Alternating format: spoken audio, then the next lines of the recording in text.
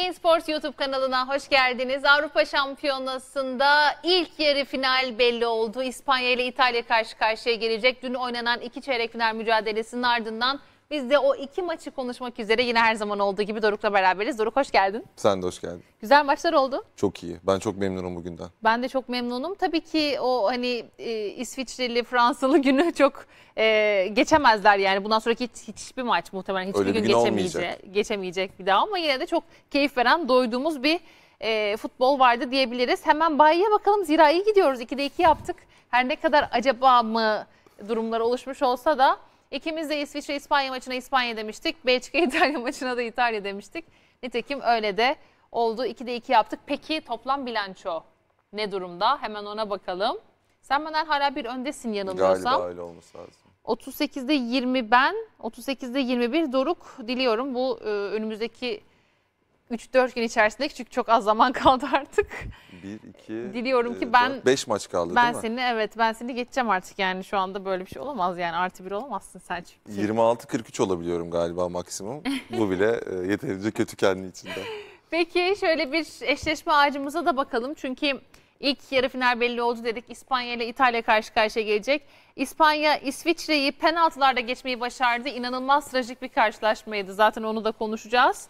Diğer taraftan İtalya'da Belçika'yı 2-1 yendi. Orada da yine acayip hikayeler vardı. Onu da konuşacağız ama elbette yarın oynanacak iki çeyrek final karşılaşması Çekya, Danimarka ve Ukrayna İngiltere maçlarının ardından ikinci yarı finalde belli olacak. Yarın da yine birbirinden güzel maçlar bizi bekliyor. Özellikle Çekya Danimarka maçından ben çok heyecanlıyım Doruk. O Yani oradan maç. ne çıkacağından Evet. çok gerçekten e, merakla bekliyorum oradan ne çıkacağını. E, şöyle İtalya İspanya çok iyi eşleşme. Hem 2012 hem Aynen 2016'da öyle. eşleştiler. Zaten biri final. 2016'da kötü İspanya, şey, kötü İtalya İspanya'yı elemişti yani. Bugüne bakarsan bence kötüydü o kadro. E, yarından da tahminlerim var. Bunu gün sonuna sak yani program tabii. sonuna saklayacağım. O yüzden Adettendir. adettendir. o yüzden e, hakiki maçla başlayalım. O zaman hadi bakalım menümüzü görelim. Ana yemeğimiz Belçika İtalya tatlımızsa İsviçre İspanya. Belçika İtalya ile başlayacağız elbette. Şimdi bir taraftan Belçika birçokları için turnuvanın favorisiydi. Zira biliyorsun FIFA sıralamasında da zirvede olan bir ekip ama diğer taraftan 2018'de Dünya Kupası'na katılamamış İtalya aldı oradan geldi. E, 32 maçlık bir yenilmezlik serisi 13 maçtır galip geliyorlar Mancini ile beraber inanılmaz bir şey yakalamış durumdalar. İtalya adına tek kötü şey tabii ki Spinazzola'nın sakatlığı oldu. Aşırı koptu Spinazzola'nın ve çok uzun bir zaman sahalardan uzak kalacak. Yani onu ki turnuvanın yıldızıydı başından bugüne kadar en çok konuştuğumuz en fazla dikkat çeken isim onun yokluğu muhtemelen hem kendisi için hem de bizler için çok kalp kırıcı oldu. Onun gözyaşlarıyla sahadan çıkması. En son Ronaldo'da benzeri bir şey finalde yaşamıştık ama en azından hani o finaldeydi ve bu kadar önemli değildi. Şimdi Spinazzola aylarca olmayacak Doruk. Evet yani galiba maçın önüne geçen bir e, olay oldu Spinazzola'nın olmamız. Çünkü e, tam bu kupaya yaraşır bir şekilde bir bekin e, takımı için ne kadar önemli olduğunu Evet. aslında konuşmamız gerekiyor. E, Spinazzola aksel Witsel sakat aksel Witsel'e e, benzer bir sakatlık yaşadı yani e, Aşil, Aşil'inden. Witsel de aynı sakatlığı işte 5 ayda Evet. toparlamıştı. Spinazzola ne kadar toparlayacak bilmiyorum. E, önce Pogba acayip bir top oynadı. Sonra Shaw oynadı. Şimdi Spinazzola sakatlandı. Her gün Mourinho. Turnuvanın her gününde Mourinho bir sebepten kötü uyuyor olabilir. Hissettiriyor değil mi? Mutsuz uyuyor olabilir yani. Şimdi Spinazzola tabii şöyle daha önce de söyledim. Yani Serie A'da bu sezon cidden acayip bir top oynadı yani. Cuadrado'dan sonra en fazla net gol pozisyonu yaratan savunma oyuncusu. Ama bunu yaparken Seyhan Roma çok iyi bir kontra atak takımıydı. Evet. İşte Fonseca ile acayip iyi bir kontra atak takımıydı e, kendileri ve Spinazzola daha çok o geçiş oyunlarında öne çıkmıştı. Ama burada çok daha topa sahip olan bir e, İtalya'da da müthiş bir top oynadı. Yani normalde mesela Di Lorenzo daha yatkın buna Napoli'de. Çünkü Napoli daha çok topa sahip olarak oynuyor Sarri'den beri. E, keza Gattuso'yla da. Ama şimdi bütün oyunu o taraftan oynuyor İtalyanlar. Ya o tarafa yıkılmış e, durumdalar ya o kanada. Spinazzola Insigne kanadına inanılmaz derecede yıkılmış durumdalar. Doğru söylüyorsun. Ya çok devrik bir oyun oynuyorlar ve mesela bugün maç içinde iki tane çok enteresan şey vardı. E, Bir tanesinde Insigne 25-30 metrelik bir pas attı Spinazzola'ya kendi ceza sahasında. Normalde Bekin ona Normal şartta tam tersi tam olması tersi lazım. olması lazım. Bir tanesi Spinazzola ceza sahasına koşu attı. Insigne çizgiden onunla bir orta attı. Ve bir tane pozisyon var. Yani çok kritik bir pozisyon. Hatta Chiellini'nin pozisyonu hatırlıyorsan Spinazzola oradaydı yine. Tam Evet, e, pardon evet. ya. O- o şeyin şey, e, Lukaku'nun pozisyonu. Aha, çizgiden Lukaku'nun çıkardı. pozisyonunda. Oradan geriye koştu pozisyona girdi. Ya bir de hani işin hem savunma tarafında var hem de inanılmaz bir deparla hücum tarafında da var. Ya kesinlikle. Yani. İki tarafı da çok iyi oynuyor e, ve tamamen ataklar onun tarafından şekilleniyor. E, İtalya o tarafa yıkılıyor ve İspanya'da da bu turnuvada yer yer gördüğümüz şekilde aslında kanat çizgiye basarken Spinazzola yani bek içeri Evet. e, konumlanıyor. Şimdi esas soru Spinazzola sız bu takım ne yapacak? Direkt oyun değişikliğine gidecek Çünkü gibi görünüyor Emerson'la Mancini değil mi? Spinazzola şöyle bir formdalar. Emerson'un yüz ifadesi nasıldı oyuna Girerken, girerken? Ay Allah ya nereden çıktı şimdi niye giriyoruz bu oyuna gibi bir yüz ifadesi vardı. Yani hiç mutlu değildi. Ya tabii ki orada Spinazzola'nın sakatlığına da üzülmüş olabilir ama yani yine de bir Kendi haline de üzülmüş olabilir. postürden anlarsın yani aslında heyecan duyup duymadığını sanki hiçbir heyecan yok gibiydi. Ama çok haklı yani. Şimdi adam öyle bir top oynamış ki. Ya, turnuvanın en iyi bek performansını yapsa koy- erişemeyecek oynuyor. oraya. Emerson bu sene 90 dakika top oynamış Chelsea'de ligde. 90 dakika ya ve 11 değil geri çıklarla bir maç kadar oynamış. Ee, bir de bambaşka oyuncular. Şimdi ne yapacak bilmiyorum. Acaba mesela üçlü savunmaya mı dönecek? Muhtemelen. Direkt o Ee, geliyor insanın aklına. Değil mi? Yani çünkü Di Lorenzo da Empoli kariyerinde mesela üçlü kanat beki oynamışlığı var. Öyle bir şey mi yapacak? O zaman mesela Insigne'yi ne yapacak? Conte'nin Euro 2016'da yaptığı gibi yardımcı forvete mi koyacak? Yani bilmiyorum. Belki de devam edecek. Orta saha üçlüsünü de bozmak istemeyecektir çünkü e, Mancini. E, Spinazzola'sız mesela İspanya'ya bir tık daha ibre dönmüş gibi gözüküyor şu an bana sorarsan. Ben katılmıyorum ya. Ya ben çünkü onun oyununun Tabii ki çok dominant, çok etkili. Ya varlığı hemen hemen her şey demek İtalya için ama e, bilmiyorum nedense yani bana bir türlü hala İspanya'nın oyunu güven vermiyor. Ge- yani yeri gelince sen diğer konuşuruz. taraftan bakıyorsun aslında. Evet aynen öyle. Ya tıpkı Belçika gibi. Belçika da aslında favorilerden bir tanesi sonuçta. Az önce de söyledim FIFA'da birinci sırada dünya sıralamasında. Ama öte yandan Portekiz maçında biz ne dedik burada konuşurken?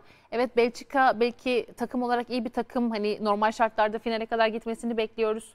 En son bir üçüncülük aldılar Dünya Kupası'nda 2018'de ama bir türlü bundan sonra iyi devam edeceklermiş gibi bir görüntü çizmiyorlar Portekiz'i eleseler bile demiştik hatırlıyor musun? Evet yani zaten e, her Belçika konusunda şunun altını çiziyoruz. ya Belçika bir ritim bulabilmiş değil. Hani çok da iyi top Kevin De Bruyne oynamıyorlar. sahadaydı bu arada. Hani Eden Hazar'la Kevin De Bruyne'siz biz bunu konuştuk. Kevin De Bruyne sahadaydı. Yani bir Rusya maçını kazandılar. Zaten Rusya turnuvanın en silik takımlarından biriydi. Danimarka malum, Finlandiya malum ve Portekiz maçı sıfır korner bir isabetli şut.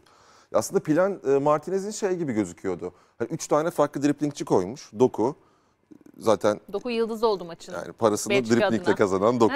e, Lukaku çok iyi driplingçi. Evet. De Bruyne. Üç farklı ama üçü de dripling yapıyor. Ya zaten maçın başında hatırla. De Bruyne ya da Lukaku'nun gollerinden, şutlarından biri gol olsa e, şey olabilirdi. Yani iş farklı olabilirdi. 1-0 başlayabilirdi Belçika.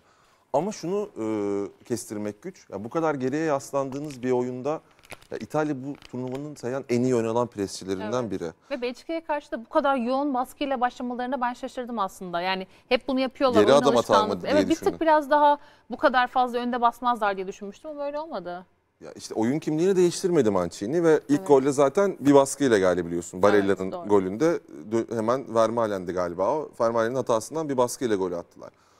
Ee, hem orada hem ikinci golde Insigne'nin golünde bence şöyle bir durum var. Yani o şimdi Witsel ve Tielemans oynuyor iki kişi ama e, İtalya orta sahası işte ekrandaki Barella, Jorginho ve Verratti. Çok kaliteli ve çok yoğun e, bir orta saha var.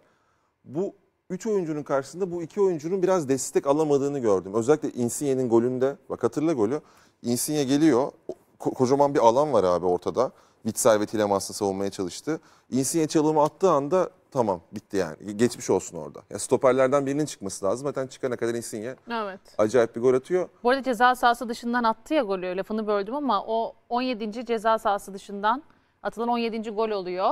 Turnuvada Turnuvadaki. Üçü İtalya'dan. İşte bir tane Locatelli'nin vardı, bir tane Immobile'nin vardı. Bu da Evet. Insigne'nin üçüncü oluyor. 17 tane ceza sahası dışından gol var bu turnuvada. İlk programda galiba konuşmuştuk. Insigne bu sene 7 tane ceza sahası dışından gol attı. Evet, konuşmuştuk. Zaten Napoli Avrupa'nın en çok ceza sahası dışından gol atan takımı bu sene. Mertens'e Insigne sayesinde.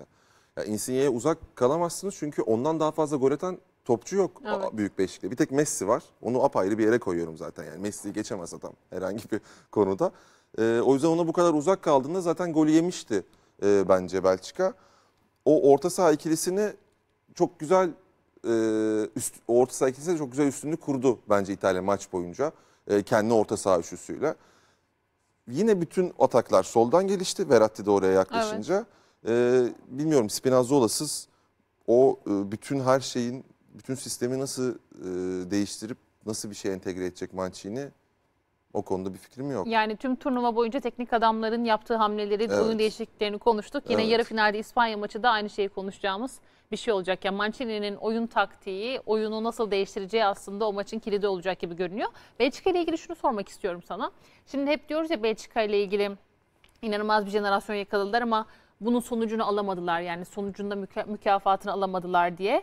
E işte 2018'deki dünya üçüncülüğünden sonra. Şimdi ge- geri üçlüsüne baktığın zaman yaş ortalaması e, 33 oynayan 11'den bahsediyorum. Hı hı, E, evet. sadece iki kişinin zaten ilk 11'de e, yaşı 28'den küçük. Böyle bakıldığında Kevin De Bruyne zaten 30 yaşında. Evet şimdi Tilemans Doku bir tek değil mi? Evet aynen öyle. Ee, şeye bakıyorsun sonra şimdi 2022'de ki çok fazla bir zaman yok. 2 yıldan az bir zaman var. Yani Kasım ayında galiba oynanacak Katar 2022. Çok az bir zaman var. Hani bu Kevin De Bruyne için artık hani zaten okey ama ya sanki bu kadronun bir şey yapabilmesi için artık son fırsat Dünya Kupası Katar'daki gibi görünüyor. Sence yapabilir mi?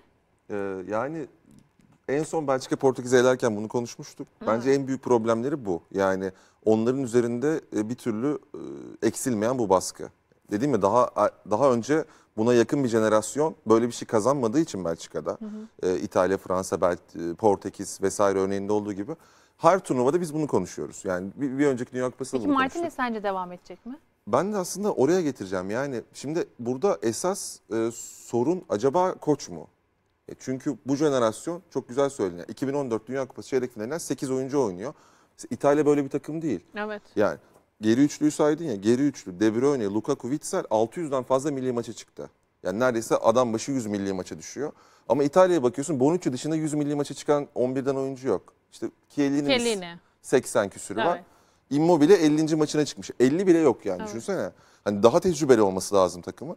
Ee, demek ki burada acaba iş biraz menajer e, de mi bitiyor diye insan düşünüyor. Çünkü ya tabii ki sakatlar önemli. Hazar önemli. Bakma Kastanya da çok önemli eksik yani. Kastanya da iyi top oynuyordu Doğru iki senedir. O da ilk maçta sakatlandı. Ee, ya şey biraz garip yani. Jeremy Doku'ya kalması işin. Ya iş Jeremy Doku'ya kaldı. Ve inanılmaz bir özgüvenle oynadı yani Jeremy Doku. Ya Ya 50 sanki 19 yaşında bir oyuncu değil. Sanki orada 100 kere formayı giymiş, milli takım formasını üzerine geçirmiş. Bütün takımı tamam ben sırtlarım edasında, her şeyi tamam bana yollayın e, duruşunda bir oyuncu inanılmaz iş çıkardı yani. Finlandiya maçında da oynamıştı yanlış anımsamıyorsam Hı, evet. 11 başlamış. 11 olması. başlamıştı orada da. E, ama böyle bir maçta ya çeyrek finalde bu kadar önemli bir karşılaşmada o da biraz sürpriz gibiydi zaten hani 11'de başlaması diye düşünüyorum. Bilmiyorum ne diyorsun? Evet ya aslında biraz hani ben direkt oynayacağımın e, özetiydi Evet. Jeremy Doku'yla başlaması. E, Doku aslında çok erken yaşta Liverpool istiyor Doku'yu. Evet, 15-16'da Jürgen Klopp biliyorsun. istiyordu. Jürgen Klopp istiyor. E, sonra Lukaku onu ikna ediyor. Yani işte diyor ki önce kendini Belçika'da kanıtla ondan sonra buraya e, bu seviyeye gelmen lazım. diye. Lukaku birebir ikna ediyor Doku'yu ve kalıyor Anderlet'te. E, sonra da bir seviyeye yukarıya Rennes'e gidiyor. Rennes'de de gitme amacı kendini işte Neymar'larla, Mbappe'lerle e, kıyaslamak yani onları geçebilmek. Ha, bir departmanda geçiyor harbiden. Yani dribbling konusunda e, Lig 1'in en fazla başarılı yapan dribbling Ya bunu e, sorsam başarılı ben. Mbappe derim mesela ama Doku. Evet aslında soracaktım ben sana Sen sormadığın için ben de ben Evet, söyleyeyim. konu bir anda dokuya gelince e, sormayı unutmuş olabilirim. Ama şey garip yani mesela bu maçta Kevin De Bruyne 51 top alıyor. Jeremy Doku 47 top alıyor. Yani Evet inanılmaz. tamam çok başarılı. Dribbling rakamları 8 bölü 13. Acayip bir şutu var. Orayı sürklese etti gerçekten. Di Lorenzo'yu. Ee, ama Belçika'nın bu oyuna ya da bu oyuncuya bu kadar bağlı kalması da zaten sanki oyun içindeki e, yaratıcılık eksikliğini biraz göstermiyor mu? Yanlış mı düşünüyorum bilmiyorum. Ya çünkü çok ana planı doku yaptılar ve çok oraya yıkıldılar. Ee, ve sadece onun üzerinden bir şeyler üretmeye çalıştılar. Diğer taraftan işleyemediği için de biraz ama sanki. Ee, Evet ya işleyemediği için ya zaten e, hem işleyemediği için hem de genelde baskılar şey oldu Belçika'da. E, geçişler üzerinden oldu. Anlık oldu yani. Evet. Son 20 dakika dışında. Ne zaman Tilemans'ı çıkardı orta sahadan De Bruyne ve Witsel'i koydu sadece. Zaten orada ben riske alıyorum dedim Martinez 70'te. Hani yersem de yerim ya da kontra yersem yerim. E, çok da kontra yemedi. E, ama mesela son 20'de acayip bir pozisyonu var mı Belçika'nın? Yok. Dokunuşlu dışında. Ya Bakayım. soldan kas, e, Kastanya değil şey. Ne? Başakşehirli oyuncunun Chadli, unuttum. Chadli. Chadli evet nasıl unuttuysam ya. E, Chadli'nin getirdiği bir top var. Ki o da zaten ya, ya bu arada Spinazzola'dan bahsettik ondan da bahsedelim. Çünkü Chadli de oyuna girdi. Zaten evvelinde Chadli'nin de sakatlığı sebebiyle acaba oynar mı oynamaz mı konusu vardı gündemde. Girdikten sonra o da sakatlanıp oyun dışında kaldı. Yani ki o dönemde de işte bir tane şey vardı. Zaten o pozisyonda aslında sakatlanıyor. Sonra geri dönüşünde artık e, gidiyor Devam yani. edemiyor. Ya tabii onlar için de şanssızlık dediğim gibi aslında Kastanya'nın oynaması lazım. Kastanya oynayamıyor. İşte Meunier ile başlıyor. Onun yerine Evet. Chadli'yi alıyor. Chadli de gidince zaten dokuyu bir yerden Bu sonra arada kanat Chadli beki de yap- geçtiğimiz sezon düşünüldüğünde tek oyuncu Süper Lig'den şu anda çeyrek final seviyesinde Euro 2020'de boy gösteren tek isimdi. O da gitti. Şu an bizden e, hiçbir şey kalmadı değil mi? Evet. Geriye. Biz zaten çok önce gittik. E, işte karşılaştığımız e, takımlar vardı Evet. bugün. Onlardan bir tek İtalya kaldı. Bu arada penaltıya ne diyorsun? Di Lorenzo'nun eee dokuya yaptığı faale. Yani Penaltı mı sence? verse de bir şey demem, vermese de bir şey demem tarzı pozisyon. Gri pozisyon. Yani çok ya, okeyim ben penaltıya. Aslına Bence bakarsan hani de böyle çok de. fahiş e, bir şey olduğunu Çünkü bu konuda hani çok ikiye bölündü gibi gördüm. Maçı Sadece takip ederken merak başında bir ettim. penaltı pozisyonu vardı. Ee, Ona Evet. da çalınabilirdi diye düşündüm mesela. Doğru. İtalya'nın beklediği ama e, hakem VAR'a gitmeyi tercih etmedi. Ee, onun dışında bugün tabii klasik bir Barella performansı izledik. Yani Evet. o da harbiden böyle Serie A'yı şey yaptı yani dibini sıyırıp geldi. Müthiş top oynadı Conte'nin takımında. Gerçekten de öyle ya. Ee, işte bu Enfes'e bir gol attı zaten. Enfes gol attı. Hem oradaki işte daralan dripling becerisini gördük, şut becerisini gördük. Ee, onun dışında zaten çok mücadeleci bir adam yani. Acayip koşan bir oyuncu. Çok komple bir orta saha. Ee, bugün de İtalya orta sahasını çekip çeviren oydu. Tamam. Geçiyor muyuz? Geçelim. Ee, bir tane şey var. İtalya ben milli sana takımının soracağım. E, şeyi soracağım sana. neyi bir soracağım? Bir grafik var. Ee, Roberto Roberto grafiği var. Ee, Roberto, Roberto M. Mancini. Roberto Roberto. M'lerin mücadelesiydi. Ee, Evet. İki tane Roberto var. Sence hangi Roberto hangi Roberto? E, zaten biliyoruz Çok mu basit? yani. Çok, mu basit sorduk? Çok basit oldu ya. Ee, ya bir FA Cup'ı vardı e, şeyin Martinez'in. evet. Belki bugün de araya bir maç sıkıştırıp ana maçı kazanır mı diye düşündük ama yine başarılı olamadı Mancini'ye karşı. Evet bu arada bir de İtalya milli takımının da Twitter hesabından Belçika'ya cevabı var. Onu da bir görelim e, Onu Twitter'da. Bu da güzel bir şeydi. Beni Vidi'nin üzerine Vici şeklinde bir cevap veriyor İtalya milli takımı. Bu da güzel bir öne çıkan bir öne çıkan bir detaydı. Peki hemen geçiyoruz tatlımıza. İsviçre İspanya maçına. Ee, tabii İsviçre İspanya maçında da aslında tabii ki favori İspanya gibi görünüyordu. Ee, ama biraz tabii yine şey İsviçre'nin de ağırlığını koyduğu bir maç oldu diyebiliriz galiba yani zaman zaman çok da hatta Özellikle ikinci yarı. Evet hatta işte öyle bir noktaya geldi ki 10 kişi kaldıktan sonraki Freuler yine kırmızı kart gördü. Neden yine diyoruz? Çünkü biz Doruk'la aramızda maçı izlerken de konuştuk. Daha önce işte Atalanta Real Madrid maçında da oradaki eşleşmede de kırmızı kart görerek oyun dışında kalmıştı Freuler.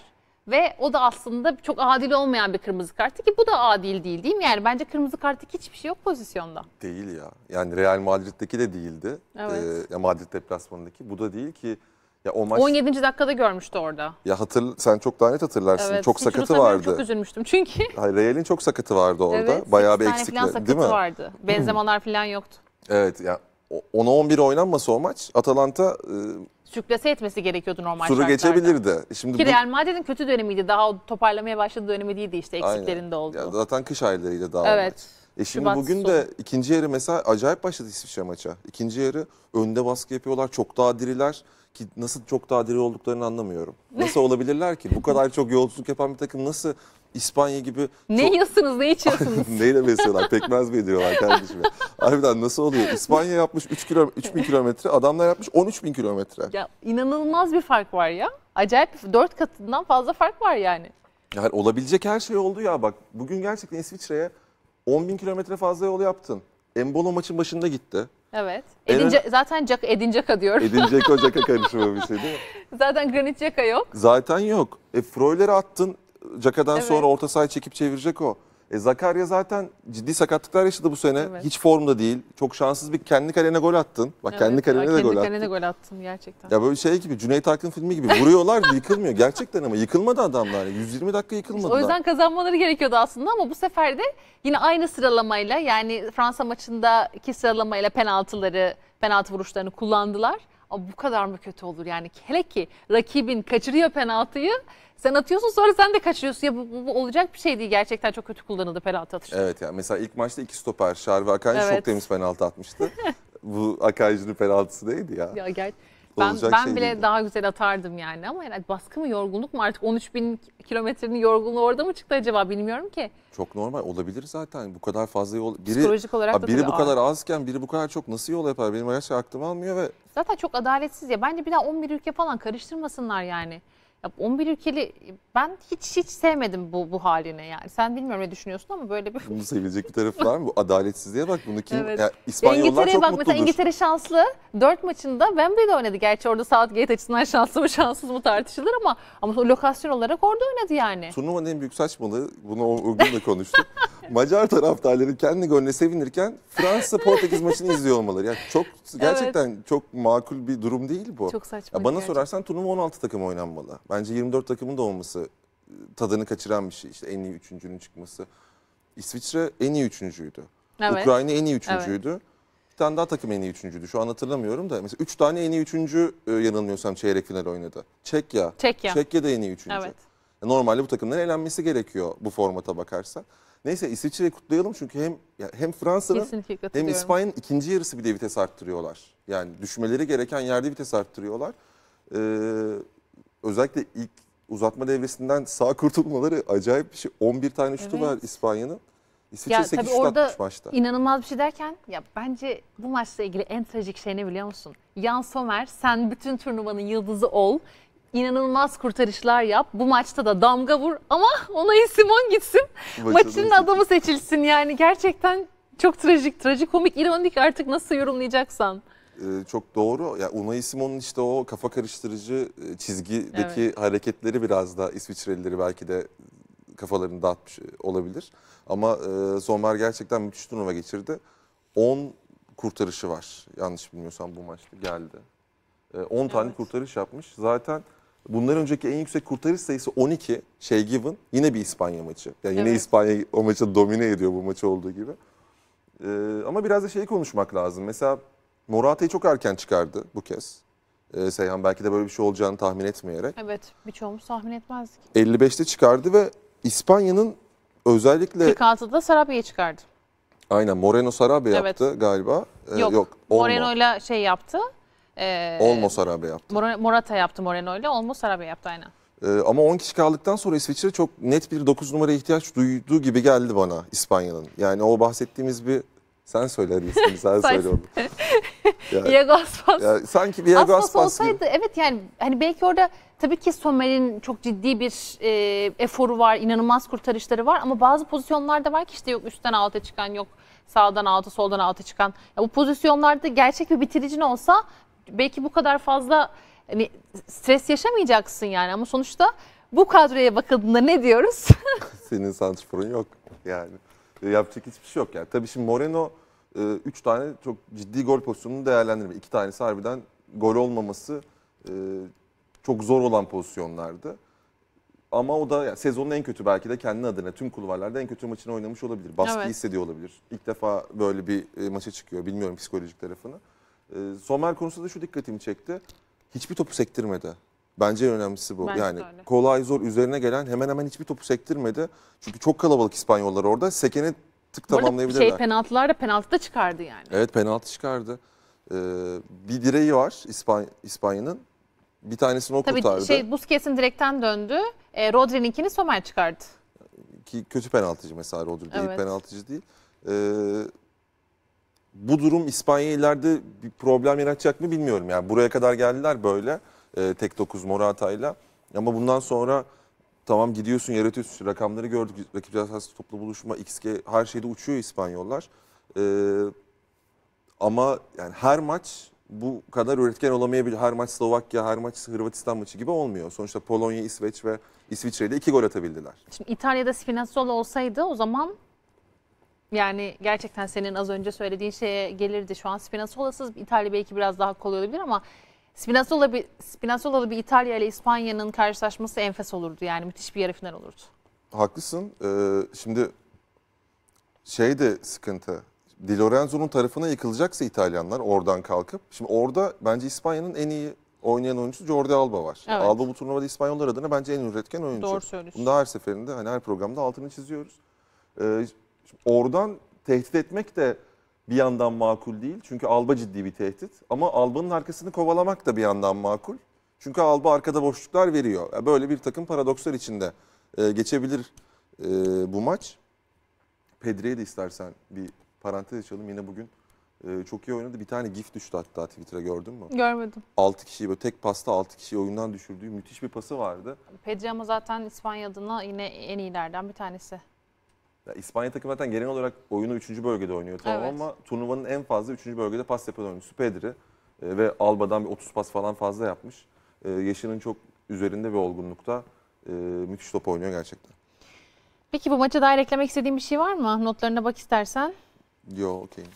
Evet zaten daha konuşacak çok fazla şey var. Ee, İspanya'nın sonraki turnuva maçlarda. sonuçlarını yapmıştık istiyorsan onu Aa, verebiliriz. ona bakalım o evet. çünkü o da, biraz o da önemli. sanki Evet. finale gidiyor havası veriyor. Evet. Şampiyonluğa gidiyor havası veriyor İspanya için. İşte görüyorsun e, 94'ten bu yana yarı final gördükleri turnuvalarda kazanıyorlar. E, Yarı finale her çıktıkları turnuvada şampiyon olmuşlar. Aynen. İşte 2008 zaten o 3 şampiyonluk Evet. e, İspanya için. Ya bu eşik geçildi çeyrek final işi öyle gözüküyor. Evet, peki bir önceki programımızda size şunu sormuştuk. Turnuvada en çok hangi oyuncuyu izlemek isterdiniz, daha fazla görmek isterdiniz sahada diye. Onun anketinin sonuçlarına da bakalım. Biz ikimiz de Doruk'la Jadon Sancho demiştik. Nitekim sizler de bizimle aynı fikirdesiniz. Twitter hesabımız üzerinden yaptığımız ankette %43'lük oy oranıyla Jadon Sancho kazanan isim oldu. Şaşırdık mı? Şaşırmadık zaten arada transfer yaptı. o günden bugüne transfer yaptı. Aynen öyle. Dolayısıyla e, bir kez daha Jadon Sancho ismi damga vurmuş oldu. Daha da damga vuracak gibi görünüyor. Peki günün enlerine bakalım. Günün enlerinde zaten İtalya müthiş bir performans ortaya koydu. Jan Sommer'in yıldızlaştığından zaten çokça bahsettik. bahsettik. E zaten Roberto Mancini de bugünün kazananı oldu. Daha çok ağırlığını ortaya Günün koyan şıkı da yazsak olurmuş oraya. Günün e, teknik direktörü yerine günün en şıkı da yazsak yine Mancini sırıtmazmış. Her zaman şık Mancini doğru söylüyorsun. Tercihler mi? Evet geldik tercihlere. Görelim Bakalım maçları. yarınla daha doğrusu bugünkü maçlarla ilgili olarak neler düşünüyoruz? Çekya Danimarka çok heyecanlı. Şimdi kime e, atlar demeseydik ben beraberlik derdim Çekya Evet, Danimarka'ya. ben de E, öyle derdim. Ama Danimarka'yı karşıma alamam. Bunu yapamam yani. Danimarka diyeceğim. Ben de Danimarka dedim. Diğeri de İngiltere. Ukrayna İngiltere'de İngiltere. O maç bu sefer Ukrayna İngiltere e, ben bir de oynanmayacak. Allah Allah neden ya? Değil mi yanlış bilmiyorum ben öyle biliyorum. ya bilmiyorum nerede oynanacağını açıkçası ama e, büyük terbiyesizlik ya bu İngiltere'ye nasıl oynanmaz? Ama zaten bence Southgate için artı yazan bir şey orada oynamaması. O kadar çok baskı altında kaldı ki çünkü. Doğru söylüyorsun aslında. Getirileri ve götürüleri var. Evet. Maçın nerede oynanacağını mı bakıyorsun? Ona Hemen bakıyorum. Evet. Stadio. Olimpico'da oynanıyor. Olimpik. Hı, Stadio okey. Olimpik'te oynanıyor. Aynen öyle. Doğru biliyorum. Sen bir avantaj olacağını düşünüyorsun aslında bunun. Evet biraz baskıyı çok fazla hissetmeyeceğini, biraz baskıyı çok fazla hissetmeyeceğini demek? Ya baskıyı o kadar hissetmeyeceğini düşünüyorum. Çünkü ben bir de oynatmadığı oyuncular sebebiyle de çok fazla baskı kurulduğu için Southgate'in bir, üzerinde. e, hani biraz daha rahat olabilir. Aynen öyle Grealish'çiler. Dirilişçiler orada sürekli bu diye adamın başının etini yiyorlar. evet böylelikle bugün de noktalayacağız. Ağzına sağlık. Senin de. Bakalım bugünün maçlarının ardından yarın neler konuşacağız. Ee, çok keyifli maçlar var. Özellikle Çekya Danimarka maçı benim iple çektiğim bir maç. Zira biliyorsunuz ikisi de çok özel önemli işler yaptılar. Bakalım devamı gelecek mi? Tabii ki e, görüşeceğiz yarın yine. Teşekkür ediyoruz bizi izlediğiniz için. Hoşçakalın. Teşekkürler, hoşçakalın.